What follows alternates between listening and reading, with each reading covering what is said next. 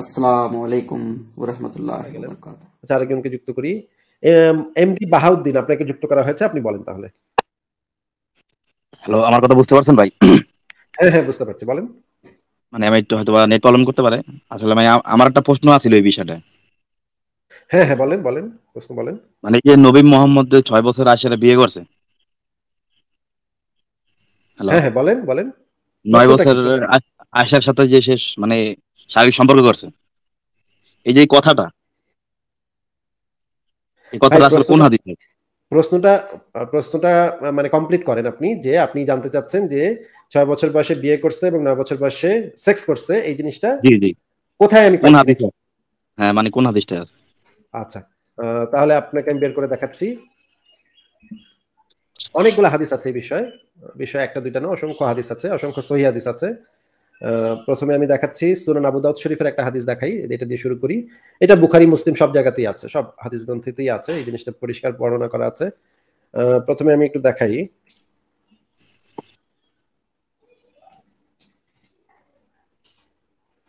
এটা দেখা যাচ্ছে স্ক্রিনে দেখা যাচ্ছে ভাই?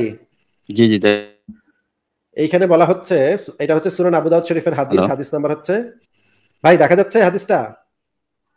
হ্যালো হ্যালো বাহাউদ্দিন আপনি কি আমার হাদিসটা দেখতে হাদিসটা কি আপনি দেখতে পাচ্ছেন? হ্যালো? আচ্ছা আমার কথা কি শোনা যাচ্ছে না? আচ্ছা আমি একটু দেখি তাহলে চেক করে দেখি। আপনি একটু আমার কথা তো ঠিকই শোনা যাচ্ছে। বাহাউদ্দিন আপনি কি আমার কথা শুনতে পাচ্ছেন না? হ্যাঁ আসিফ ভাই। বাহাউদ্দিন আমি তো কথা বলছি আপনি কি আমার কথা শুনতে পাচ্ছেন না? কি আশ্চর্য?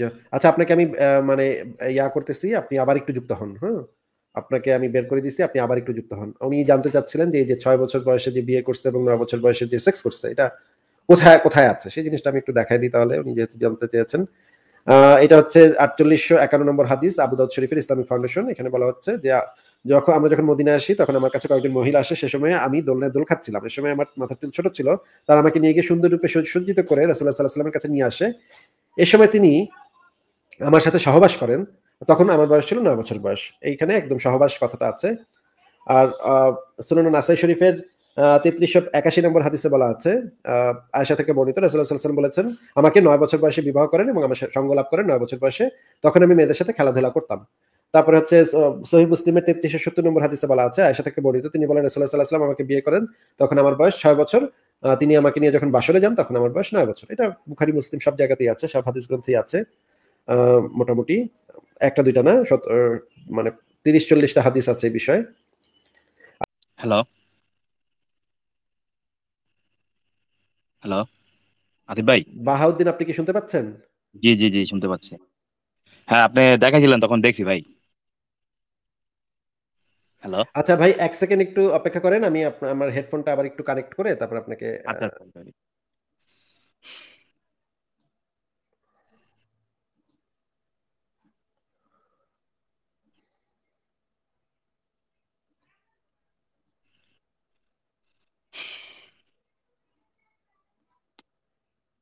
হ্যালো এখন একটু কথা বলেন তো বাহুদ্দিন আপনি?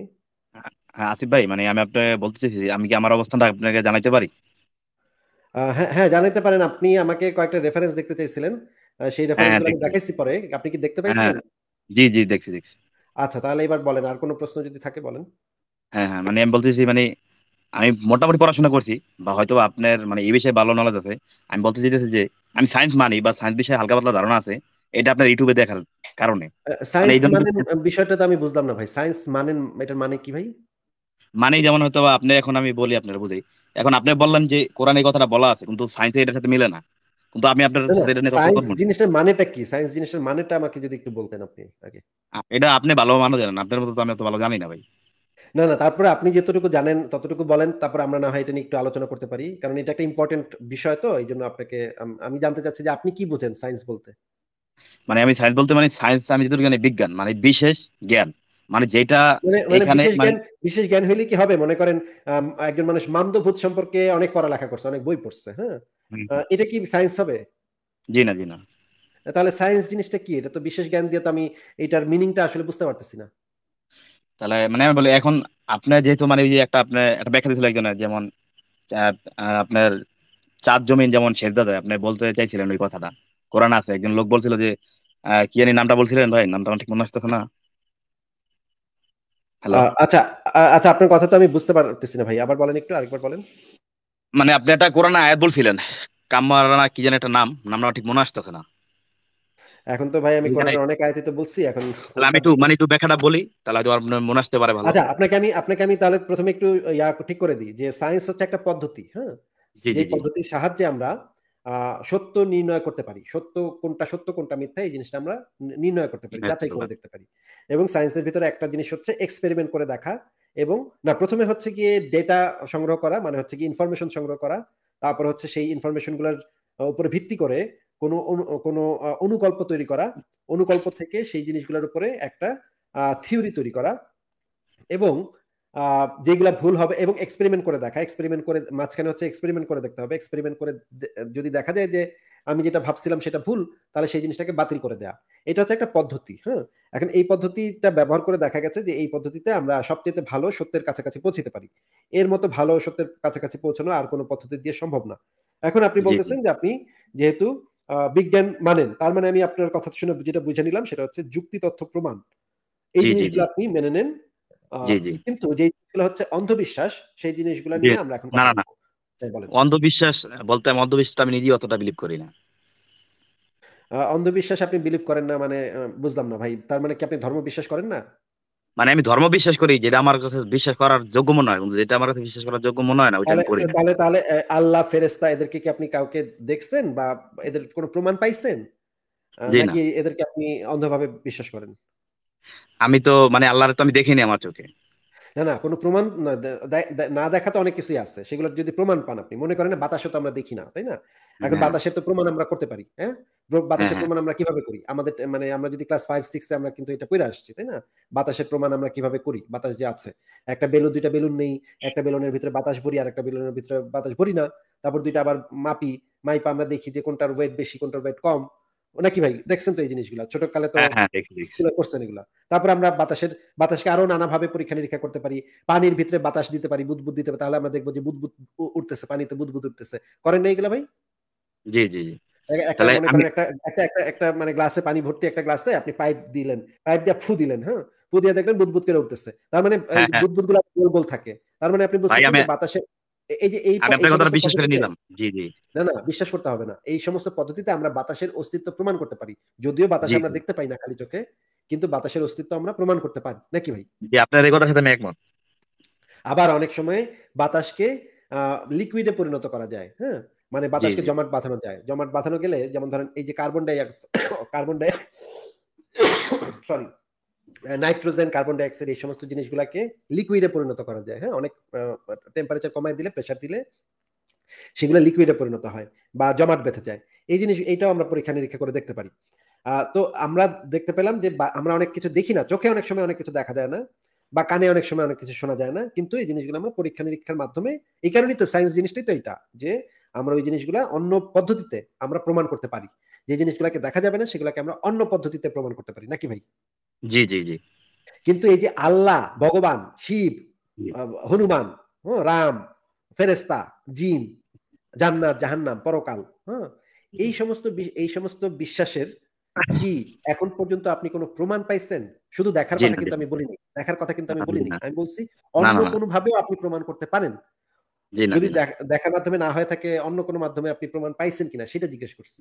জি না জি না। আপনাকে আমি প্রমাণ করে দেখাইতেও পারব না। যদি আপনি অন্য কোনো পদ্ধতিতে প্রমাণ না পায় থাকেন তাহলে তো এটাকেই বলা হয় অন্ধবিশ্বাস ভাই। জি জি জি। আপনি যেটা কথা আপনার কথা আমি সম্পূর্ণ বুঝতে পারছি। এখন মানে আমি একটা মানে আমার এই জিনিসটার কোনো প্রমাণ পাওয়া যায় নাই। কিন্তু কিছু লোক সেটাকে বিশ্বাস করে। জি জি। অন্ধবিশ্বাস বলে ভাই। যেমন হিন্দুরা বিশ্বাস করে শিব নামক একটা দেবতা ব্রহ্মা বিষ্ণু শিব তারপরে কৃষ্ণ রাম এই সমস্ত মানে দুর্গা কালী এই সমস্ত দেবদেবী বিশ্বাস করে। কিন্তু কোনো বাস্তব প্রমাণ পাওয়া যায় না। মুসলমানরা বিশ্বাস করে আল্লাহ ফেরেস্তা টেরেস্তা এরা নাকি আরও উপরে বিশ্বাস আছে কি কি করতেছে? কিন্তু কোনো বাস্তব প্রমাণ এই সমস্ত বাস্তব কোনো প্রমাণ নাই। অন্যান্য ধর্মের ভিতরে অন্যান্য নানা জিনিসপত্র আছে কিন্তু কোনো ধর্মের বিশ্বাসেরই এই সমস্ত জিনিসের কোনো বাস্তব প্রমাণ নাই এখন পর্যন্ত পাওয়া যায়নি। তাহলে এই সমস্ত জিনিস তো অন্ধবিশ্বাস তাই না? জি জি। কিন্তু যদি অন্ধবিশ্বাস হবে না সেটা প্রমাণিত হবে। যদি আপনার কাছে কোনো প্রমাণ থাকে তাহলে সেটা দেখাতে পারেন। তাহলে আমি মানে বলতে চাইতেছি যে মানে আপনি যেহেতু বলছেন আল্লাহর অস্তিত্ব কিন্তু আমি প্রমাণ করে দেখাইতে পারব না আপনাদের হিন্দুরাও তো বলবে হিন্দুরাও তো বলবে শিবের অস্তিত্ব তো ভাই আমি প্রমাণ করে দেখাতে পারব না ভাই। হ্যাঁ, জি জি। প্রত্যেকটা ধর্মের মানুষ এটাই বলবে। এখন আমি- আমি আপনাকে বলি এখন আপনি আমাকে এমন কোন সময় যুক্তি কি দিতে পারবেন? এমন কোন যুক্তি কি দিতে পারবেন?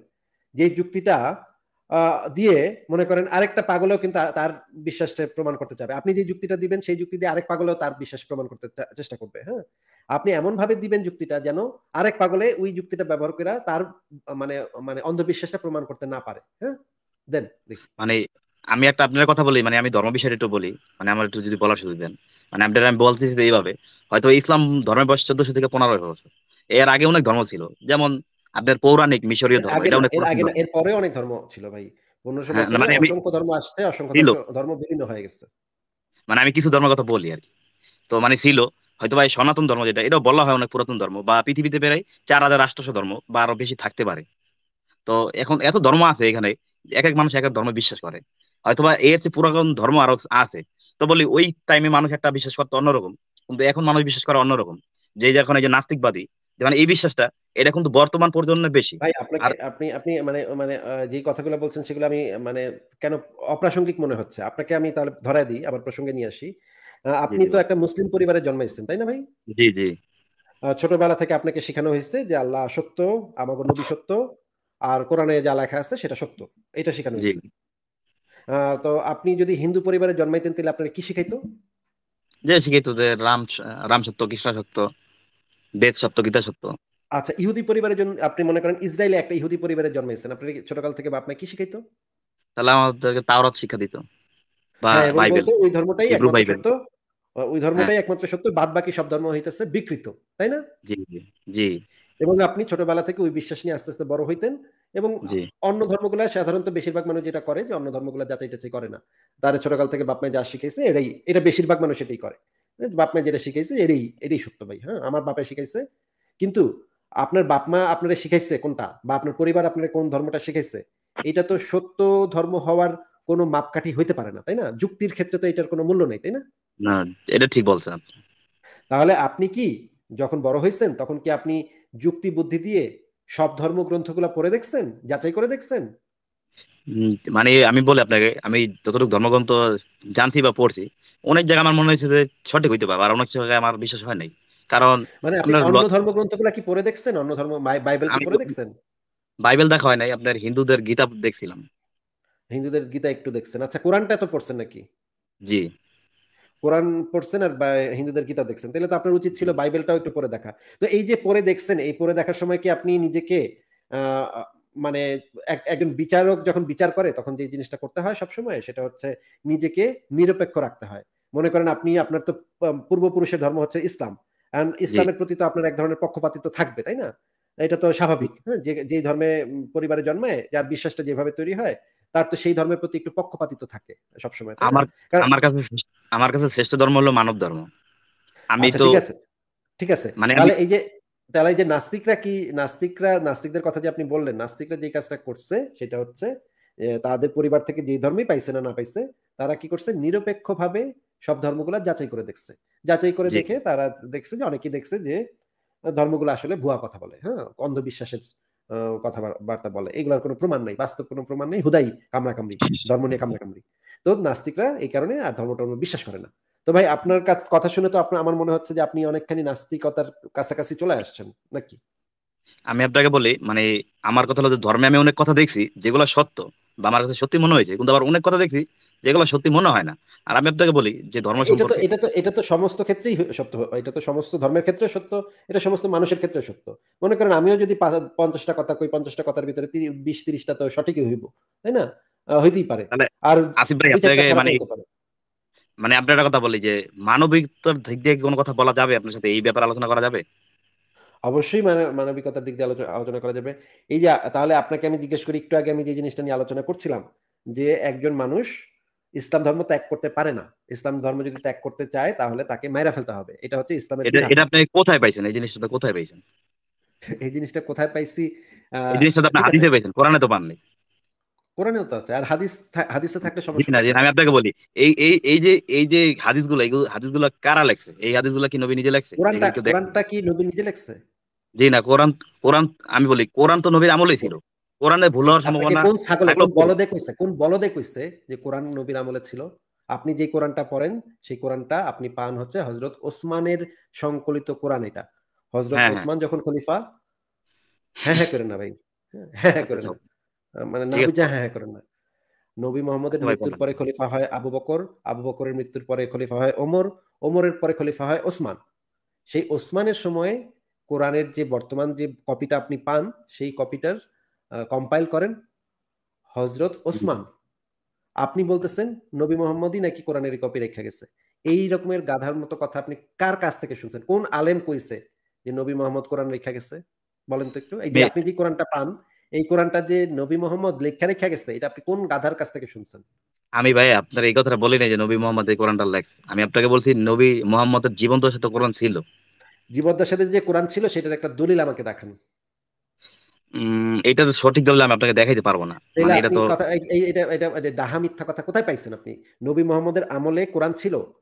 এই জিনিসটার আচ্ছা। কোন দলিল কি আপনার কাছে আছে? পৃথিবীর কোন মুসলমানের কাছে এই জিনিসটা আছে? যে নবী মোহাম্মদের জীবদ্দার সাথে একটা কোরআন ছিল কমপ্লিট কোরআন যে কোরআনটার ভিতরে আমরা এখন যেটা দেখি সেইভাবেই সুন্দর করে সুরাগুলা সাজায় গুছায় লেখা হয়েছিল নবী মোহাম্মদের জীবদ্দার সাথে এরকম একটা দলিল আমাকে দেখান। এখন ভাই এই যে আপনার যে নাম আসিফ মহিউদ্দিন কথা আপনার কথা আমি পাল্টান না কথা কথা কথা পাল্টান না কথা পাল্টান না। আপনার আচ্ছা, কাছে আচ্ছা। কি কোনো দলিল আছে? কোনো ঐতিহাসিকের দলিল কোনো বড় আলেমের দলিল কোনো ইসলামের কোনো বড় আলেম মনে করেন ইমাম আবু হানিফা ইমাম শাফি ইমাম মালিক ওনাদের কোনো বক্তব্য কি এই ক্ষেত্রে আপনি দেখাতে পারবেন যে নবী মোহাম্মদের বাইতে ছিল তখনই একটা কোরআন পুরো কমপ্লিট লেখা টেখা হয়ে গেছে। প্রথমে দিছে সুরা ফাতিহা লাস্টে দিছে হচ্ছে গিয়ে সুরা এই একশো একশো চোদ্দটা সুরা ছিল। এই এইভাবে এইভাবে সাজায় গুছায় নবী মোহাম্মদের জীবদ্দশাতে এই জিনিসটা হয়ে গেছে। এই জিনিসটা আমাকে একটু দলিল দেখান ভাই। তাহলে মানে আপনি বলতে চাইছেন যে নবী মোহাম্মদের সময় জীবিত থাকা অবস্থায় তখন কোনো কোরআন মানে নাদিল হয় নাই? আমি বলেছি নবী মোহাম্মদের সময় কোনো কমপ্লিট কোরআন বলে কিছু ছিল না। আমি তো কমপ্লিট কোরআনের কথা বলিনি। আমি যদি বলি একটা আয়াত আপনি তো একটা আয়াত থাকলে একটা আয়াত দিয়ে তো কোরআন হয় না। কোরআন হইতে হইলে পুরা কমপ্লিট হইতে হবে। কোরআন মানে হচ্ছে ওইটারে বলে আয়াত। মনে করেন কুলহু আল্লাহু আহাদ এটা হচ্ছে আয়াত এটা কোরআন বলে না। আপনি হ্যাঁ। কি ভাই মাথা মাথা কি আপনার ঠিক আছে? কোনটারে সূরা বলে কোনটারে আয়াত বলে আর কোনটারে কোরআন বলে? এই বুঝো কি আপনি বুঝেন? আমি বলি আমি তো জানি এটা কি আপনি এটা কি আপনি বুঝেন? কোনটারে আয়াত বলে কোনটারে মানে সূরা বলে আর কোনটারে কোরআন বলে? জি জি বুঝি তো। মনে করেন একটা আয়াতরে কি কোরআন বলে? মনে করেন কুলহু আল্লাহু আহাদ। এই কথাটা একটা কাগজে লেখা আছে। এইটারে কি হ্যাঁ। আপনি কোরআন কইবেন? এটা হলো আয়াত। এইটারে কি আপনি কোরআন বলবেন? এটা একটা কোরআনের অংশ আয়াত। এইটারে কোরআন বলে নাকি? এই আয়াতটারে কোরআন বলে নাকি? আপনি ভাই এটা কেমন লজিক দিলেন বুঝলাম না। এই আপনি না বললেন একটা আয়াত হইল তো এটা কোরআন এটা আপনি বললেন না একটু আগে? এটা একটা কোরআনের আয়াত। আয়াতে- একটা আয়াতে কোরআন বলে কিনা আমি আপনাকে বলি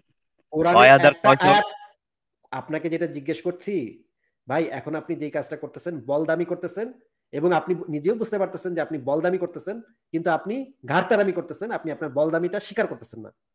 আপনি নিজেও টের পাইছেন যে আপনি বলদের মতো কিছু কথাবার্তা বলছেন কিন্তু আপনি এখন স্বীকার করে ফেললে তো ছোট হয়ে যাবেন আপনি। এই জন্য আমি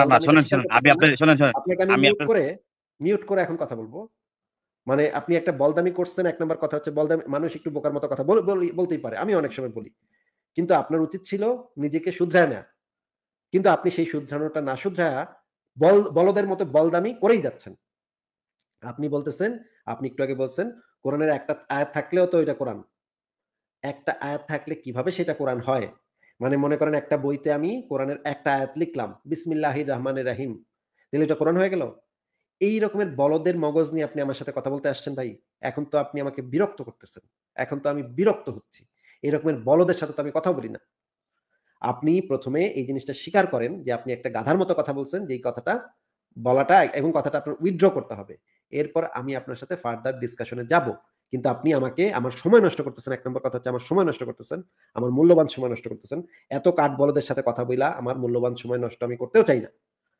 কিন্তু তারপরে আপনার আপনার মতো মানে কাঠ বলদের সাথে কথা বইলা আমি আমার সময়টা নষ্ট করতেছি। কিন্তু আপনি বুঝতেছেন যে আপনি বলদামি করছেন, একটা আয়াত থাকলে সেটা কোরআন কয়, এটা একটা বলদের মতো কথা। তারপরে আপনি যেটা স্বীকার করতেছেন না, স্বীকারটা না করে আমার সময়টা নষ্ট করতেছেন, আমার মেজাজটা গরম করতেছেন। আপনাকে আমি আনমিউট করতেছি আনমিউট এখন আপনি হ্যাঁ, বলেন যে এই গাধার মতো কথাটা আপনি উইথড্র করে ঠিকভাবে বলেন। আচ্ছা সরি যদি আমি কিছু ভুল বলি এই জন্য সরি কিন্তু আমার কথা একটু বুঝে বলতে দিবেন? না আপনার কথা বুঝায় বলতে দিব না। আপনাকে আমি জিজ্ঞেস করেছি যে মোহাম্মদের আমলে কোরআন বলে কোনো কিছু ছিল? কোরআন বলে কোনো কিছু ছিল? এটার কোনো দলিল নাই। আপনি যে কোরআনটা পড়েন সেই কোরআনটা লিখিত হয়েছে হজরত ওসমানের আমলে। তাহলে আপনি যেই সূত্রে হাদিসকে বললেন মোহাম্মদের সময় তো হাদিস হাদিস তো এগুলো তো মোহাম্মদের সময় লিখিত না তাহলে আমরা কেমনে বুঝব যে এটা আসলেই সঠিক? একই কথা তো প্রযোজ্য কোরআনের ক্ষেত্রে। কোরআনটাও তো আপনি যে কোরআনটা পড়েন সেই কোরআনটা তো কম্পাইল করা হয় হজরত ওসমানের আমলে। ততদিনে মোহাম্মদ মইরা বুতায় গেছে। মোহাম্মদ বিষ খায় মইরা বুতায় গেছে ততদিনে হ্যাঁ? তাইলে আপনি কোরআনকে কীভাবে দলিল বলে মনে করেন? আমি তো কোরআন আমি তো এটা সম্পূর্ণ কোরআন বলিনি ভাই আমি বলছি এটা কোরআনের অংশ। কোনটা কোরআনের অংশ? আমি বলছি একটা আয়াত মানে যদি একটা আয়াত শুধু নাজিল হয় ওই আয়াতটা একটা কোরআনের অংশ। আমি তো বলিনি ওইটা ফুল কোরআন। ওইটা মানে তো কোরআন বলছেন আপনি। কোরআনের অংশ তখন বলেন না। আপনি বলেছেন না সরি সরি তাহলে শোনেন শোনেন ভাই আপনার শোনার ভুল হইতে পারে। আমি বলছি এটা কোরআনের অংশ। আমি আমার ফুল কোরআন বলিনি। আমার মোটেও শোনার কোনো ভুল হয় নাই। কোরআন বলে তখন কোনো কিছু ছিল না। কোরআনের অংশ এই যে ছোট ছোট ছোট ছোট অংশ দিয়েই কোনটা আগে যাবে কোনটা পরে আমি ভাই শোনেন শোনেন শোনেন ভাই আমি সেম কথাই বলছি যে ওটা আপনি আমার সময়টা অংশ আপনি আমার সময়টা নষ্ট করতেছেন। মানে বলদামি কথাবার্তা বইলা সময়টা নষ্ট করতেছেন। আপনাকে আমি যেটা জানতে চেয়েছি যে মোহাম্মদের আমলে কোরআন বলে কোনো কিছু ছিল? কোরআন বলে কোনো বই ছিল যে কোরআনটা আপনি পড়েন? এরকমের কোনো কোরআন কি আপনি এরকম কোনো কোরআন ছিল? এরকম কোনো প্রমাণ দেখাতে পারবেন? আপনি একে তো দেখেন আপনি বুঝতে পারতেছেন যে আপনি অনেক জায়গা থেকে ধরা খাইবেন। দলিলে তো আপনি আমার সামনে আপনি কেন? আপনার মানে চোদ্দ গোষ্ঠী এসে আমার সামনে দলিলে তুলে উঠতে পারবে না। ইসলামের দলিল প্রমাণে ইসলামের দলিল প্রমাণে আপনার চোদ্দ গোষ্ঠী বা আপনার এলাকার সমস্ত আলেমা এসে আমার আমার সাথে কুলা উঠতে পারবেন না। এখন আপনি চালাকিটা চালাকিটা যে শুরু করছেন একে তো মিথ্যা কথা বলতেছেন। আমি পরিষ্কার শুনছি আপনি বলছেন এটা কোরআন। এই যে আচ্ছা দেখেন এখানে এখানে- এখানে অনেকে লিখেও দিচ্ছে। এই যে জাহিদ মাহমুদ লিখেও দিচ্ছে অংশ উনি বলেন নাই। আর অনেকে লিখতেছে অনেকে আপনাকে মিথ্যাবাদী আচ্ছা, লিখতেছে আচ্ছা, অনেকে আচ্ছা আপনাকে আচ্ছা ভাইয়া এই যে এই যে দেখেন এই যে দেখেন অনেক অনেক মানুষ এখানে লিখতেছে যে না উনি মিথ্যা কথা বলতেছে। এই যে দেখেন আরেকজনও লিখছে এই যে দেখেন তারাও তো শুনছে। শুধু যে আমি ভুল শুনছি তা তো না। এই যে দেখেন আরও আমি দেখাচ্ছি এক সেকেন্ড। আচ্ছা যদি আমার মানে আমি যদি আপনি সঠিক শুনেন হয়তো আমার বলার ভুল হইতে পারে। আমি তো অস্বীকার করি না।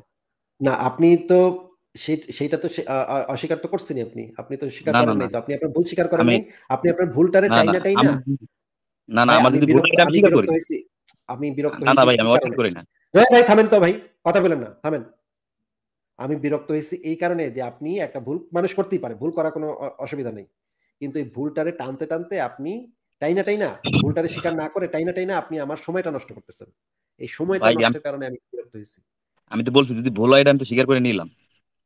তাহলে আপনি মানে স্বীকার করতেছেন যে কোরআন নামক যেই গ্রন্থটা এখন আমরা পাই মোহাম্মদের সময়ে এইরকম কোনো কমপ্লিট কোনো বইয়ের অস্তিত্ব ছিল না নাকি? আমি আপনাকে বলি আমি আপনাকে এটা প্রমাণ করতে পারব না ছিল আর প্রমাণ করতে এটাও পারতেছি না। তাহলে আপনি যেদিন প্রমাণ করতে মানে পারবেন আপনার যেদিন প্রমাণ করতে পারবেন আপনাকে সেদিন যুক্ত করব। ভাই এই মানে উনি মানে একে তো হচ্ছে কি আমি রাখতাম কিন্তু কাঠ বলদের মতো কাঠ বলদের কথাবার্তা বলে। কোনো দলিল নেই কোনো প্রমাণ নেই কাঠ বলদ কাঠ বলদামি করতে আসছে। হুদাই কাঠ বলদামি করতে আসছে। মানে আমি আমি একটা শেষ সুযোগ দিতে চাইছিলাম কিন্তু আমি দেখলাম যে একই একই। ataque